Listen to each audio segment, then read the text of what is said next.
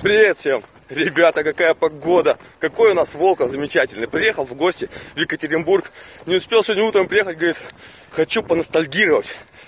Потренироваться на базе Динамо в Екатеринбурге, где бегал лет 10 назад. Поэтому привез его сюда на выгулку тренироваться. Лешка, скажи всем привет. Всем привет. Бегаем, вспоминаем круги. Как часто говорит Алексей Слепов в своем инстаграме. Всем ЗОЖ. Ну, мы здесь еще часа 4 будем, наверное, бегать, поэтому присоединяйтесь.